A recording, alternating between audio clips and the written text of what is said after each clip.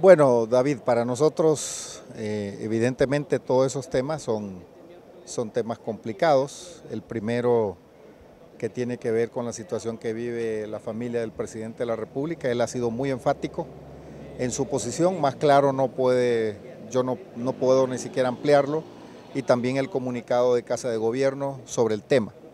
Así que ahí eh, lo que toca es que las autoridades que están a cargo puedan investigar y determinar la responsabilidad, si lo hay o no, del caso del hermano del presidente de la República.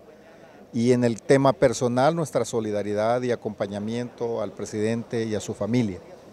En los demás temas, pues es lamentable eh, la situación que están viviendo nuestros compatriotas y compatriotas de otros países que intentan cruzar el muro en Estados Unidos y la exposición eh, de sus vidas, de sus parientes, de niños, de niñas.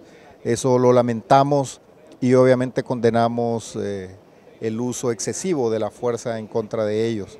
Nos parece que hay otros temas, que eh, hay otras formas de abordarlo y el gobierno va a seguir luchando por, por coincidir en abordar estos temas y no podemos rehuir esa responsabilidad. De ahí los otros temas, pues bueno, les tocará demostrar en los tribunales eh, lo que aseveran estas personas. Ojalá que no haya un manejo político, con, sesgo político, sino que se averigüe con absoluta neutralidad de parte tanto del Ministerio Público como de los jueces eh, y sea manejado profesionalmente por los abogados, defensores, estos temas y que al final hay una exposición a, los tribunales de la justicia, a la justicia, a rendición de cuentas y eso debe llevarse a cabo. Mire, indudablemente que el ambiente político y la situación política afecta el ambiente económico, eso no lo podemos desconocer. Si tenemos nosotros un líder político como Manuel Zelaya llamando a, incluso a las armas, porque así lo ha dicho él, y a la insurrección, y llamando a la violencia, obviamente que eso tiene un impacto porque hay gran parte de la población que, cree que ellos tienen esa capacidad y probablemente lo, lo puedan tener en algunas zonas del país. Obviamente que eso perjudica. Si hubiera responsabilidad eh, con el país y compromiso, yo creo que las trincheras se escogerían de diferente manera. Pero bueno, esa es la línea que ha escogido el presidente Zelaya y, su, y sus seguidores. No la, no, la, no la compartimos, nos parece que eso es un tema eh, que no es válido, que no es, no es correcto hacer sufrir y hacer padecer al pueblo hondureño.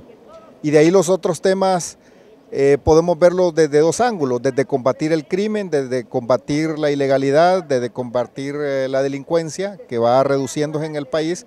Si ese tema es para beneficiar los niveles de seguridad, favorece la inversión pero desde otro punto de vista, cuando nosotros tenemos ya esa confrontación con el crimen organizado y se evidencia que el crimen organizado sigue siendo poderoso, pues evidentemente también eso eh, daña el, clima de negocios. Así que estamos trabajando, eh, aunque no lo parezca David, Honduras tiene mejor eh, condiciones que otros países de la región pero tenemos que aprender los hondureños a creerlo también y a trabajar en el mismo sentido, sin desconocer los problemas que tenemos.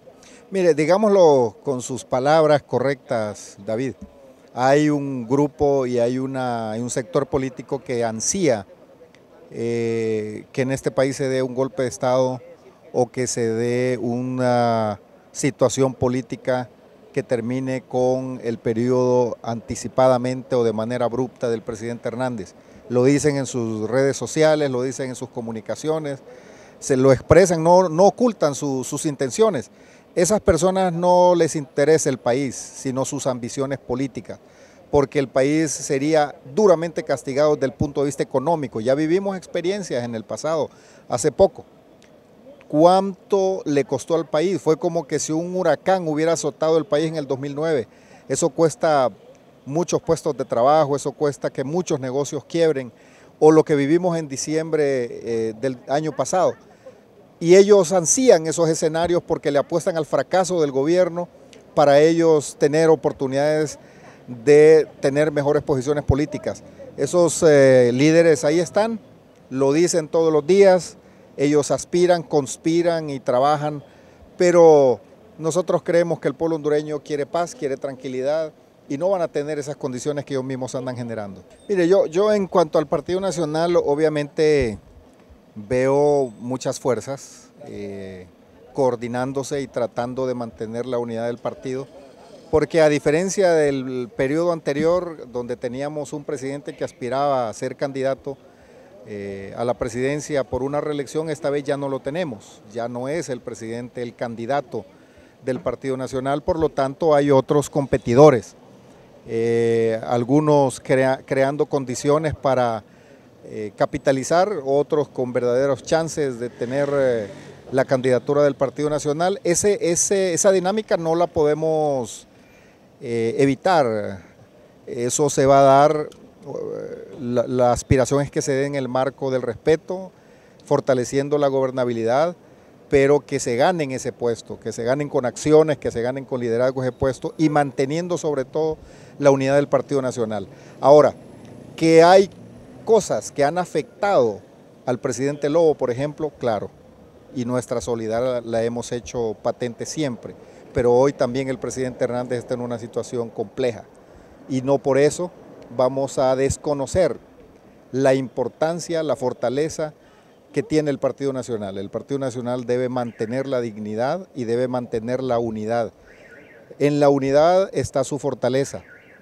Y ya ha pasado pruebas fuertes el Partido Nacional y las ha resistido. Estas son nuevas pruebas y las está resistiendo. Eh, y más bien se está fortaleciendo. Así que nosotros tenemos otro escenario, obviamente la conspiración para que el Partido Nacional se debilite va a seguir, eh, desde todos los lados, pero el esfuerzo de todos va a ser comprender que el Partido Nacional Unido es como va a tener mejores posibilidades de seguir dirigiendo los destinos de este país.